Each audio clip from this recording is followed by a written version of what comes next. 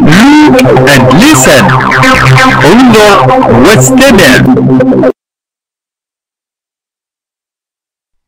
Three-letter words, past tense. You will notice in Arabic that in past tense verbs or doing verbs, the door is mentioned at the end of word. نحن we for plural plus three ضربنا we hit they hit for male ضربتم they hit for female ضربتن ضربوا they hit ضربنا they hit for do plus two ضربتما you two hit for male and female ضربا they two hit for male ضربتا they two hit for female now for singular plus one ضربت I hit ضربني hit me ضربت or ضربتي you hit for male and female ضرب he hit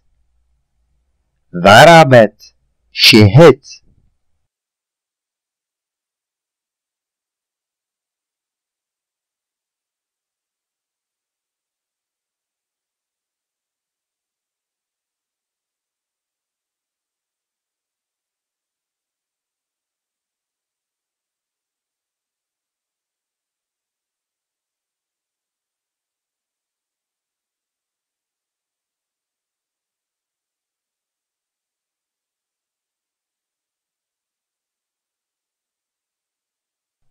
present tense verbs or doing words.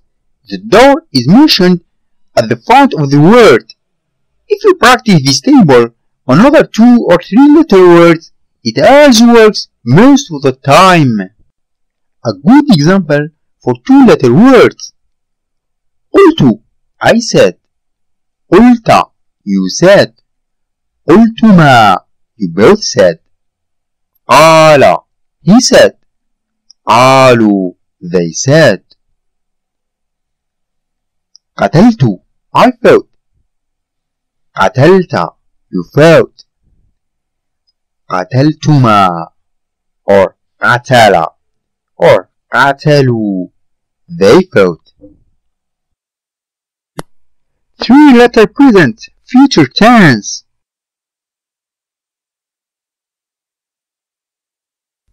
In present we have he is hitting يضرب you are hitting تضرب we are hitting نضرب I am hitting أضرب they are hitting for male is يضربون they are hitting for female is تضربن in future we have I will hit سأضرب you will hit ستضرب we will hit سنضرب they will hit سيضربون they will hit for female is ستضربن he will hit سيضرب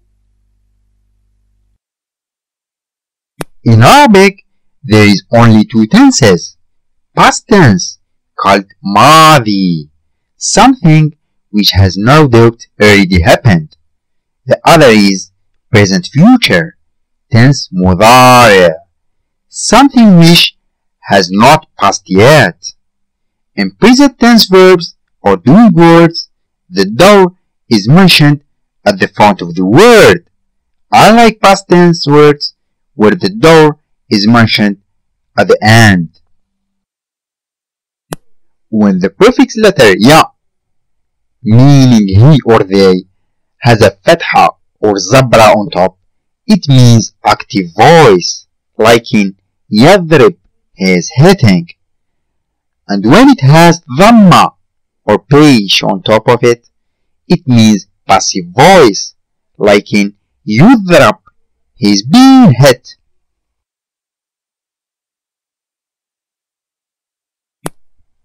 Letter ta must be the most confusing for most people. So we will explain this one. The letter ta, when placed before a word mean either you or she. It will normally always mean you, unless there is proof in the sentence for it being a female. For example, تضربنا They females are hitting. تضرب You are hitting. past tense ماضي this is present future tense مضارع past tense describing an event which happened in the past so what will no doubt happen in the future you are self-certain that it will happen that you use a past tense word to argue that it will no doubt happen as true as the past itself. It is as real as the past was real.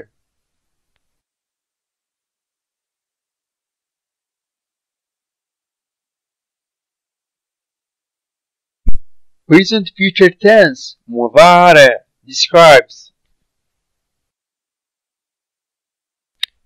Present near future is something which is happening now present long-term future is something which is happening now and will continue in the long-term future. Istimrar, continuous.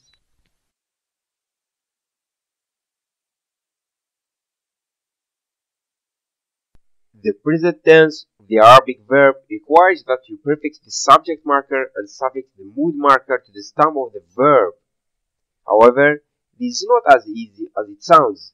Especially for Form 1. The words you need to add are going to be a little bit challenging.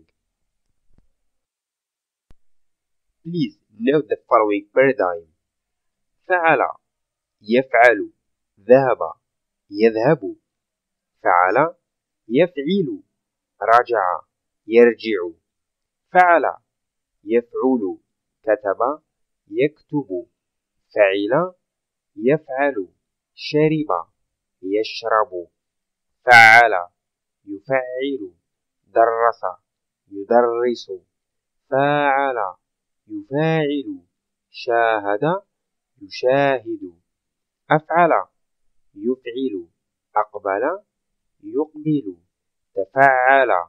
يتفعل تحدث يتحدث. تفاعل. يتفاعل. تقابل. يتقابل. انفعل ينفعل. انصرف ينصرف. افتعل يفتعل. اعتمد يعتمد. افعل يفعل. احمر يحمر.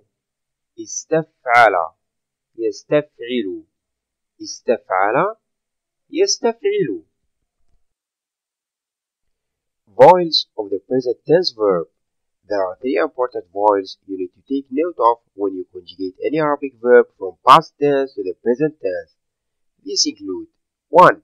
The subject marker vowel, which is the first vowel of the verb. 2. The stem vowel, which is the vowel that goes on the second radical or consonant of the root. 3. The mood marker vowel, which is the last vowel of the verb. The following is a chart of these various vowels for the 10 forms of the Arabic verb system.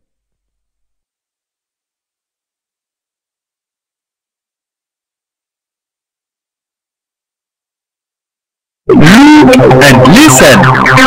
انظر واستمع